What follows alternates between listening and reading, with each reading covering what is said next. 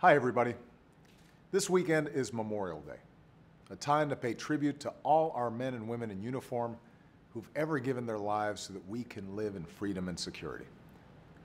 This year, the holiday is especially meaningful. It's the first Memorial Day since our war ended in Afghanistan. On Monday, at Arlington Cemetery, I'll join our Gold Star families, veterans, and their loved ones to remember all our fallen heroes, including the more than 2,200 American patriots who gave their lives in Afghanistan. And I plan to share a few of their stories. Growing up in Arizona, Wyatt Martin loved the outdoors. To him, a great day was a day spent fishing.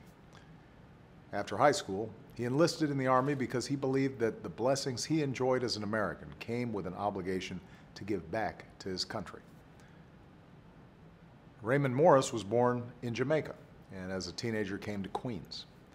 Like so many proud immigrants, he felt a calling to serve his new country and join the Army. He fell in love, got engaged, and the thing he wanted most was to make the world safer for his three-year-old daughter. In their lives, Specialist Wyatt Martin and Sergeant First Class Ramon Morris traveled different paths. But in December, their paths intersected as the final two Americans to give their lives during our combat mission in Afghanistan. This weekend also reminds us that around the world, our men and women in uniform continue to serve and risk their lives. In Afghanistan, our troops now have a new mission, training and advising Afghan forces. John Dawson was one of them.